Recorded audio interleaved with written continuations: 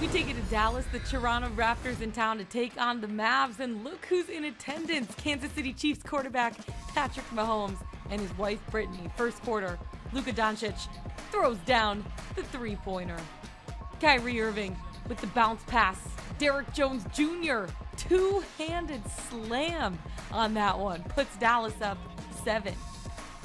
Pascal Siakam spins, hits the layup off the glass. In transition, Siakam dishes it to OG Anunoby for the dunk.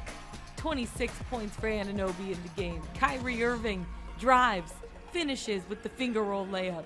Dallas up eight. Gary Trent Jr. hits the three.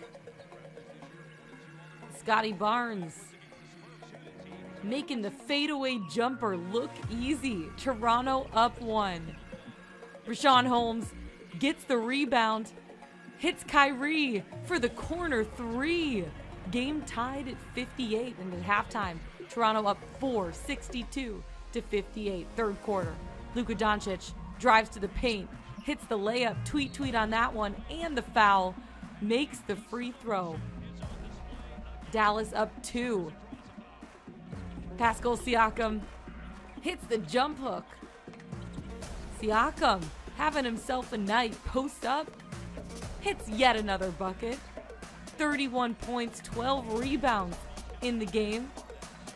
Chris Boucher makes the tough hook shot. Scottie Barnes dishes it to OG Anunoby for the jam. Dennis Schroeder drives to the hoop, hits the finger roll, and Toronto holds on to this one, comes out on top 127 to 116. Pascal Siakam with a casual double double.